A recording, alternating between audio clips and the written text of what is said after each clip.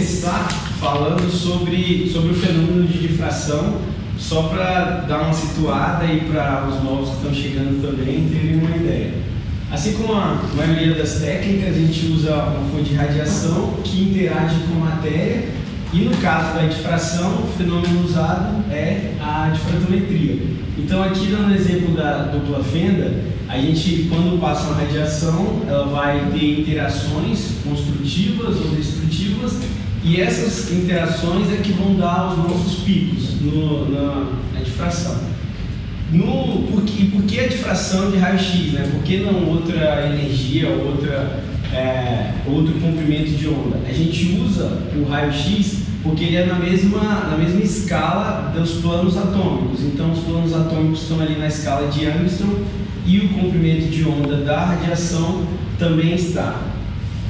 Então, como que ela interage com, com o nosso material, né? os nossos, uh, com os cristais no caso?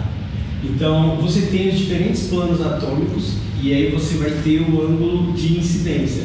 Então, quando essa difração, quando ela ocorre em fase, a gente vai ter a, ó, o pico aparecendo no difratograma e quando você está fora de fase, você não tem uma interação construtiva, então não vão aparecer picos. Aqui está um exemplo né, de um plano com. Ali tem a lei de Bragg também e tem, tem relação com isso. Então, é, a lei de Bragg diz que o dois, é, n lambda é igual a 2d seno θ. Então, o lambda é o, a radiação, né, a, o comprimento de onda da radiação e isso é fixo. Então você escolhe um comprimento de onda é, que vai ser incidente e os B também é fixo. Então os planos atômicos eles vão ser sempre aqueles, eles não vão mudar. Então o que a gente muda é o ângulo de incidência. Então mudando o ângulo de incidência de acordo com, com, com as interações, se elas forem construtivas, vão aparecer picos e aí para cada, cada composto você vai ter um conjunto de picos que é característico daquele material. E aí a gente consegue determinar. Sem falar também do, da característica do próprio material. Então a gente consegue saber qual é o B. Então, se a gente sabe o lambda, sabe o 2θ, a gente consegue tirar o D e consegue ver modificações nesse D. Então, cada composto, é, é o que eu estava falando, ele tem um conjunto de, de planos que vão difratar. Então, dando um exemplo aqui de um composto cúbico, é, você vai ter os planos que mais para frente eu vou explicar o que, que, o que, é que eu acho importante saber. É, os planos é, é, os planos de Bragg que a gente chama, né? Então eles podem ser um, um meio de, de um quarto e aí agora mais para frente explicando para entender melhor. Então a gente tem aqui eu vou dar o exemplo do óxido de níquel então eu tenho o plano 111, o plano 200 e o plano 220 e, e a gente vê que eles têm diferentes, diferentes é, o D é diferente para cada plano. Eu fiz um, um coloquei um programa aqui para explicar melhor essa parte. Então a gente tem a unidade cristalina, então está aqui o, o nosso composto cúbico e se a gente for olhar o plano, é, voltando aqui, ó, o plano que tem a maior distância, né? O 1, 1, é, a gente vê, ó, aqui seria aí, seria um corte transversal. Então eu estou cortando aqui no eixo A, seria o é X, Y, Z, em cristalografia é A, B e C. Então se eu corto o eixo, o eixo A em um, o eixo B que é o daqui da frente 1, e o eixo C em 1, eu tenho esse plano, o 1, 1, 1. E aí eu tenho os outros planos, 2, 2, 2, 2, 0, 0. No caso, ele corta o eixo A em 2. No caso 2, é, em cristalografia, é 1 sobre 2. Se fosse 3, era 1 sobre 3. Então, na verdade, ele corta a célula unitária em meio. Então eu vou ter os planos que e não corta o eixo é, P e nem o C. Então você tem um plano ali infinito que corta só em dois e o outro, é, outro plano que a gente tem para o óxido de, de níquel, que é o 220, que é a mesma ideia. Voltando para o pro, pro a gente tem, então, o que, que isso vai dar no, na difração de raio-x. Então, aquele, aquele plano que é o mais, o mais distante, então, lá, eh, se a gente fosse ver, ele é que tem a distância interplanar maior. Então, eu tenho um plano, um, um, um que vai dar esse pico em 2 tetas menor, então, quanto maior o t, menor 2 teta. O outro plano vai dar um pico em outra região, 2 teta, e outro a gente pode ver também que a gente tem as famílias de plano. Um, um ele também tem esse plano que é o 222, que você vê que é o, que é o do, dos átomos de oxigênio, de, entre os de oxigênio e o de níquel. E ele dá aqui, ó, o pico em 222. Ele tem a intensidade, que isso tem a ver com a orientação de, de crescimento de cada cristalito, e mas basicamente é isso. O que eu queria mostrar aqui, para que todo mundo entendesse, é que quando eu olho um difratograma, o que, que eu vou ver? Eu vou ver isso. Pra, o que, que cada pico significa? Significa cada plano atômico. Eu falei tudo isso para que a gente tenha em mente isso. Então, se eu tenho algum shift no, no, no pico, é porque esse D está aumentando ou diminuindo. E também é, as intensidades, né? Se eu tenho mais, é, se a intensidade aumenta, significa que eu tenho aquele plano está mais orientado, então ele está sendo mais difratado na, na medida. Então, falando já agora da, do, dos nossos experimentos, primeiro é, a estratégia, né, a montagem do, do experimento em operando. É, lá, logo no início, quando a gente começou, a gente ainda não tinha o céu, então a gente bolou uma, uma célula que era simplesmente pegar a coricel, fazer uma janela e fechar ela com cápsula. E aí a gente tem o, os diferentes materiais. De início a gente estava fazendo, é, fazendo um buraco na, no, no, eletrodo de cima para pegar o material, é, a face que está que tá de frente para o outro eletrodo. Só que assim, a gente viu que nos materiais, por exemplo, como a gente estuda a dupla camada, a gente nos materiais que da malha, que a gente cresce o, o nanotubo, a, a dupla camada vai estar em contato. Então, como a malha ela pega toda a, tanto uma face como a outra, a gente poderia estudar a face, a face de cima. Já em composto como em materiais eletrodos, como o, o do Rafa lá, que tem um alumínio e ele fica na face superior, a gente faz esse esquema de, de abrir os, os orifícios para pegar o eletrodo de baixo para ser o eletrodo de, de trabalho. É, esse foi o primeiro estudo, a gente montou só uma, uma célula e, e cozinhou o material para conseguir trabalhar. E posteriormente, com a EOCell, com um dispositivo que pudesse fechar melhor a, o, a, todo o sistema, a gente começou a trabalhar é, com com essa, com essa configuração. Né? A gente coloca, colocou uma janela que é uma janela de PET, que é o Mylon, mas pode ser o Capton também, que não dá pico na, difração de raio-x. Na verdade, ele só dá um pico, que é do carbono, que infelizmente é, é o mesmo pico que a gente estuda às vezes, mas aí no caso é uma limitação da técnica, não vai ter como a gente estudar o carbono usando essa janela, teria que ou mudar de janela ou ou fazer sem a janela, mas aí a gente não consegue fechar o sistema completamente. Então a gente tem aqui o, o inicial, né, o que a gente vinha usando e o que a gente está usando agora, aí o céu. Ah, tá. E aqui uma outra coisa importante, que a gente faz os estudos todos em ângulo rasante. O que isso significa?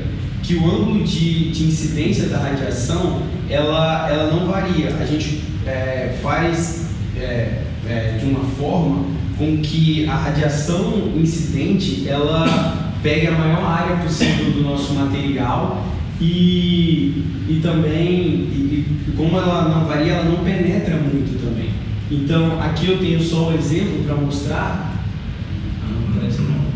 que que aqui é os picos do óxido de níquel, aqui ele coincide com o da malha, então esses picos aqui na verdade são da malha, mas esse pico aqui, vê que sem o ângulo rasante, a intensidade dele é bem menor do que com um ângulo de 1,5. Aqui em azul eu, botei, é, eu fixei o ângulo em 10 e mais e o de preto aqui em 1,5. Então a gente vê que a intensidade do pico é, aumenta. Então a gente que já trabalha com material que é nanométrico, que tem uma população bem pequena, é importante usar ângulo rasante para a gente ter uma intensidade um pouco melhor dos picos e às vezes conseguir observar. É, já mais para frente, os materiais que a gente está usando. Né? Então eu separei em dois, um material que tem um substrato, que é esse primeiro aqui, e os que não tem. No, no primeiro, é, a, a, gente faz as medidas separadamente de cada composto. Então, o que eu fiz foi uma medida só da, só da malha de aço inox, que ele tem uh, os picos característicos dele, e do nanotubo.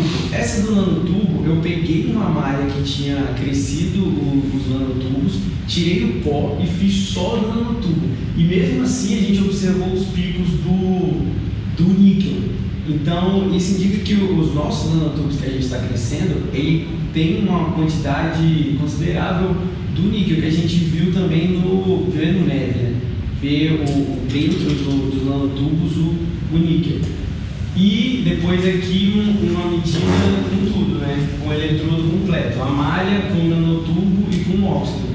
A gente vê que é o pico do carbono e o pico da malha e para evitar é, esse, essa questão de da gente ficar observando o pico do substrato, que não interessa para a gente, que a gente não quer observar, é, a gente pode usar outros materiais. Aqui eu dei o exemplo do book paper, mas pode ser tanto a gente fez medidas com a fibra de carbono também, que ele, ele dá um, um difratograma sem, sem picos é, de substrato, de outros, ele é bem limpo.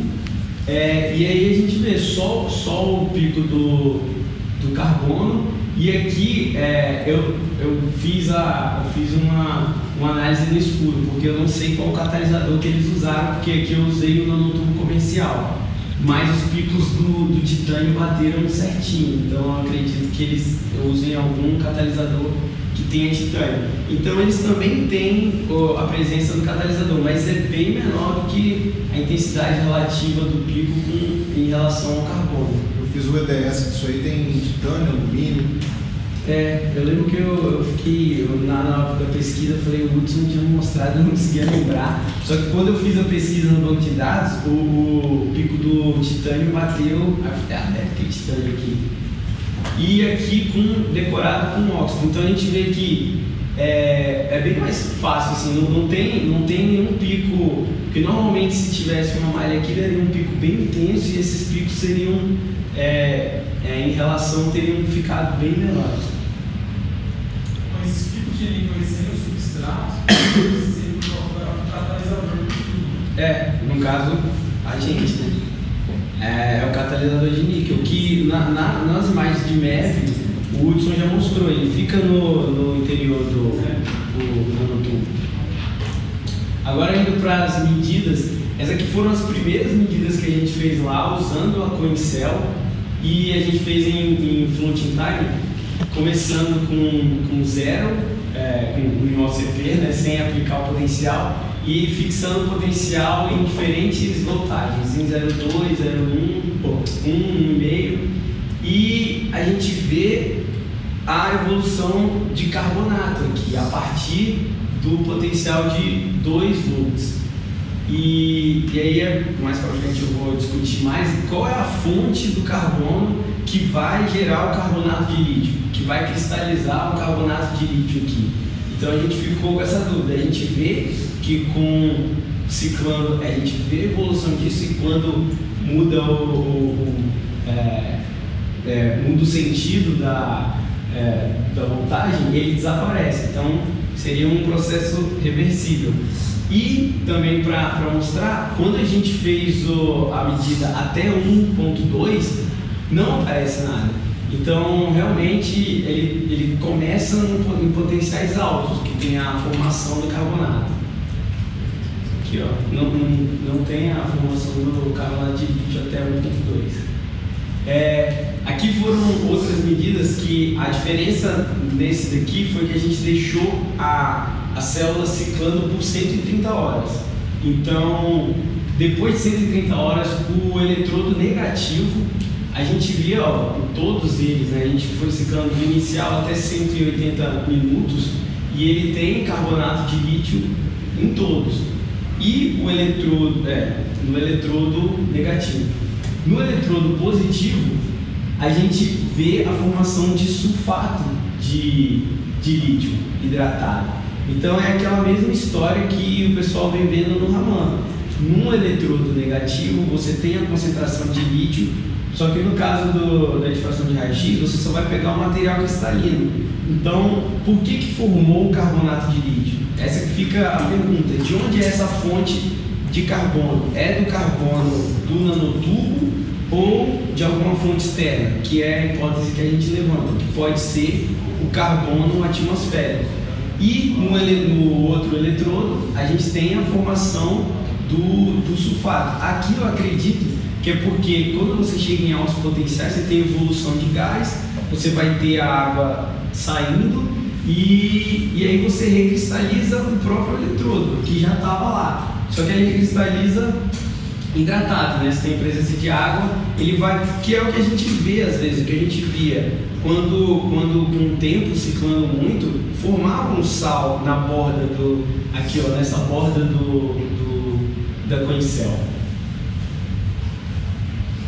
Aqui é Aqui foi, ah, sim, aqui é para mostrar exatamente. Aqui eu comecei a fazer na, na Aerocel. Quando eu comecei a, quando a gente começou a usar a Aerocel, a gente fez o mesmo experimento na, no aço inox e a gente não viu formação de carbonato nem de nada. Então a gente começou a, a usar a nova célula achando que a, a gente ia conseguir explicar, achando que a fonte era, era o carbono do nanotubo, só que a gente observou que não, observou que não estava tendo mais evolução de, de carbonato e provavelmente então isso era porque nessa, na célula, na Eocel, a gente conseguiu fechar hermeticamente o, o, o, sistema. E aí a gente não está tendo a, a, a, presença, a formação de carbonato. Então, é, isso corrobora para a hipótese que, que o, a fonte de carbono é uma fonte externa, não, não, é, não veio do próprio sistema. E aqui, só para mostrar, comparando de novo, né, com na Elcel e aqui na Coincel.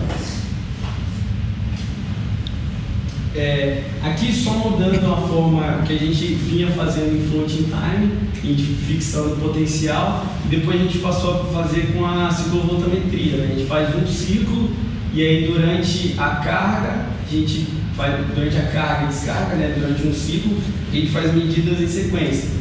E para o book paper, nesse caso a gente tirou a malha para é, analisar só o carbono e a gente de novo não observou evolução de nem, nem, nem de carbonato, nem de sulfato.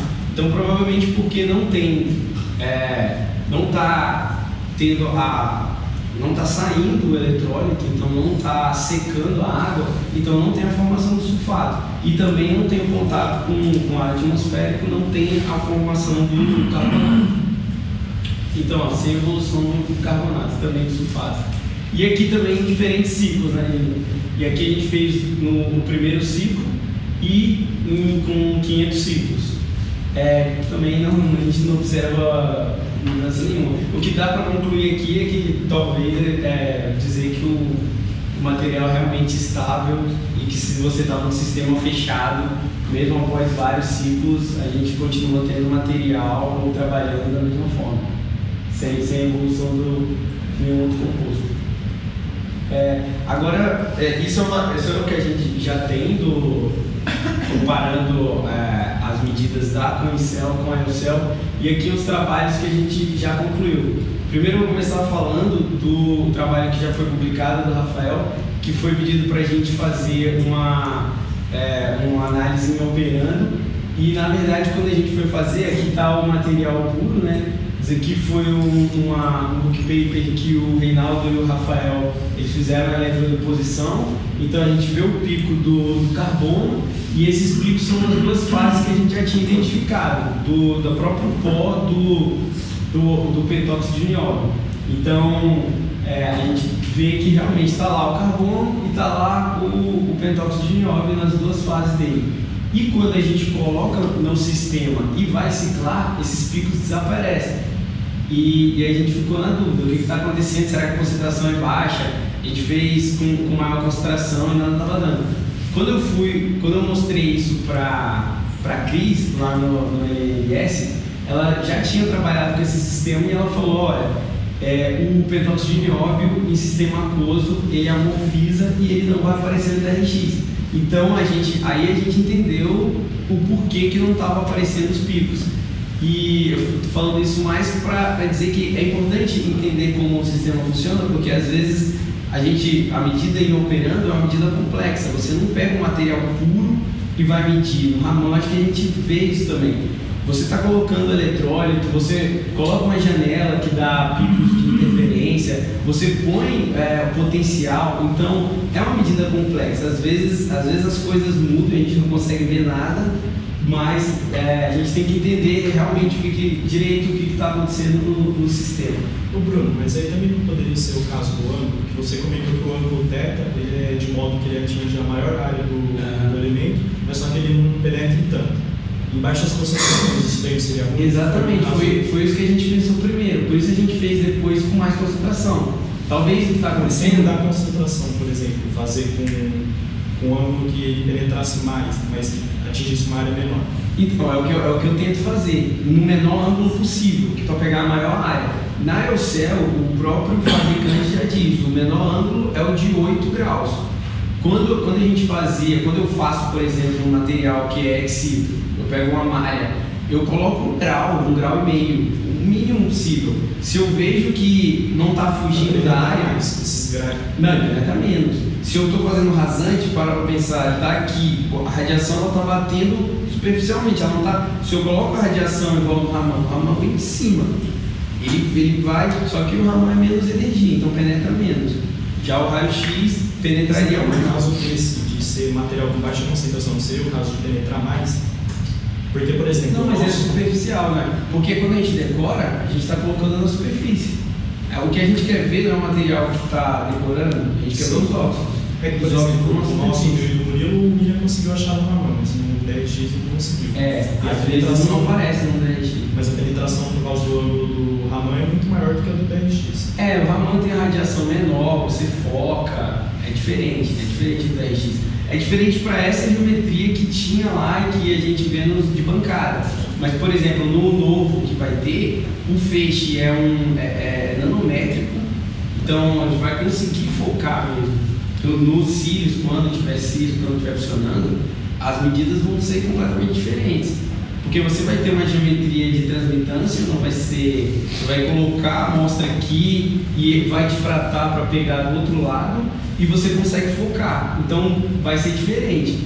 Mas para o que tem agora e para as medidas que a gente tem para difratômetro de bancada, a melhor estratégia, pelo menos até agora que a gente observou, é essa, de fazer ângulo rasante. E fazer teste, né? Porque às vezes não aparece o pico. Às vezes a concentração é pequena, às vezes o material é muito nanométrico. Não, mas tem um ponto também no ferro, eu notei que quando a gente coloca o eletrônico, é, o eletrônico se acomoda rapidamente onde tem os pontos de óxido, diferente do níquel, diferente do manganês. Existe uma atração no eletrólito, no sulfato, talvez, onde tem o ferro muito forte, muito mais forte do que os outros óxidos. Uhum. Porque é eu pingar o eletrólito e nas regiões onde estava tudo laranja, é, ele... cor do ferro, fica tudo branco. Ele hidrata, né? Ele, ele hidrata instantaneamente, então talvez isso dificulte ele com a água. Ele, ele se coloca, ele faz, faz, ele faz um octaedro ali, ele vai, a água hidrata o ferro na hora. Isso a gente sabe. Então, é, eu acho que cada composto é, é um testezinho para se fazer antes, para ver se vai realmente aparecer alguma coisa. É, esse agora é o material que o Bruno fez, o, o, hexaciano ferrato de cobalto. Então, aqui é uma medida excito, só para mostrar os picos ali, a caracterização, hexaciano ferrato hidratado e a, aqui a medida em operando. Eu coloquei mais aqui para discutir, que eu estava discutindo com o Bruno, porque na, na carga a gente não vê pico nenhum. E depois a gente vê os picos do, do, do hexaciano hidratado, né? Ele, o, de hidratado, o hidratado aparecendo. Só que é, a gente poderia supor que ele está formando aqui ou ele está aparecendo, mas o pico que é do alumínio, que é o substrato que ele usa, também não estava aparecendo. Então seria um marcador. O alumínio a gente sabe que está lá, ele não, ele não hidrata, ele, ele, a gente sabe que ele deveria estar tá sempre com pico. Por que, que na carga ele não aparece e na descarga ele começa a aparecer? Então pode ser, o que eu estava discutindo com o Bruno, tem algum material que vai ficar sobre a superfície que impede que a radiação pegue esses picos de difração. Ou seja, pode ser água. A água ela, ela absorve a radiação, então ela dificulta a, é, que apareça algum pico. Mas a gente tem que discutir isso daí. Você tem alguma ideia? Não, na verdade, isso daí é aquilo que a gente comentou, né? Que faz sentido. É no ramo, o que, que acontece? O pico do sulfato, conforme você vai aumentando o potencial na carga, o pico do sulfato vai aumentando. Porque a gente está analisando o eletrodo positivo de trabalho. Sim. Então o sulfato o SO4 2 menos, ele vai grudar, absorvendo na superfície do eletrodo de trabalho. Tá. Essa absorção, por se tratar de uma solução de 1 mol, muito concentrada, vai tampar a superfície do, do material. E no DRX, na carga, você não vê esses picos, porque eles estão sendo tampados por causa do sulfato. sulfato. Quando inverte o potencial, por ser um processo eletrostático, o sulfato rapidamente sai e os picos que talvez desde o início estavam, eles Começa começam a aparecer porque o sulfato sai da superfície. Pode ser. Pode ser. Tem que pensar aí o que, que o sulfato está fazendo. Ele está atrapalhando que a radiação enxergue os picos. E depois ele está saindo mas vai o lítio. Talvez o lítio realmente, por ser mais leve, mas o lítio também está hidratado. Então pode ser isso mesmo, sei lá, ah, pelo menos o experimental mostra isso, né? Tá? Os picos não apareciam e depois é, apareceram. Quer falar alguma coisa? Eu ia falar isso mesmo. Primeiro que o eletrônico é sólido, né? Só que sólido. Tá. Lembrar. Ah, é. ah, tá. Mas eu concordo com o William, observa esse comportamento mudou mesmo. A ideia é que o que, o que é curioso para mim é que no ACP também não aparece nada. Sim. Então, na, na, primeira situação inicial do sistema, é como se eu tivesse lotado de eletrônicos na superfície. Né? E aí, o contrário, quando a gente tem descarga, ele é muito repelido, na verdade. Sim. É, aquele ali é excito. Excito. Preto. É, o preto, é. o preto é o de pó, né? É, o de pó. A gente tem que fazer, começar a fazer os exitos dentro da Excel. É, não, eu, eu cheguei a fazer, nas últimas medidas eu estava fazendo, é, o, o padrão era esse, eu fazia exito. Aí dentro eu, da Excel? Não, é, é, podia ser dentro da Excel porque é fácil montar ali, mas sem janela, sem eletrólito, sem nada. Só ele, e aí depois eu colocava o eletrólito, aí normalmente são as medidas do OCP. Isso, porque, e... OCP, porque esse é o ponto que eu queria chegar, porque o OCP era para ser para mostrar os picos, né, pra gente. É, mas aí que tá, se tem o eletrólito, talvez o eletrólito também esteja barrando essa a radiação. Eu só concordaria com isso se a gente tivesse a janela sendo medida junto, sem o eletrólito. Dentro é. da céu, se o eletrólito estivesse dentro da céu, montado, com a janela, toda é, a estrutura. Você diz o, o eletrodo em si, não o pó, né? Entendi. É o eletrodo pronto. Aí você vai em média pelo neocel sem o eletrólito. Uhum. Aí depois você adiciona o eletrólito e faz um CP. É. Nesse não, a gente não fez, não. não. Vamos pensar nisso nos próximos. Não, eu cheguei a fazer nos últimos do, do, do booktaper, até do ferro do, dos meninos do, do Murilo e do César, a gente, eu fiz desse jeito. Mas é porque também com o tempo a gente vai ganhando experiência. Né? Sim. É, é, acho que o ponto da apresentação é essa, passar essa experiência. É, porque os outros não erram do mesmo jeito, vocês perderam muito tempo é, aprendendo isso. Sim. E, ah, por fim é da fibra de carbono, que é o último que eu estava discutindo com o William. Aqui a gente vê também só a fibra de carbono com nanotubo, da perfeita, exito ali, e, e decorado com níquel também fica bem bonito. E nele, a gente, no, em operando, a gente basicamente não vê muita mudança, né? A gente ne- nem aparece, nem, então sei lá, a gente pode dizer que é bem estável. Não tem evolução de carbonato, a gente não vê sulfato também. É, sei lá, esse é mais para dizer que o, o, o sistema é estável. Então é isso. Os trabalhos que eu até agora. Muito obrigado.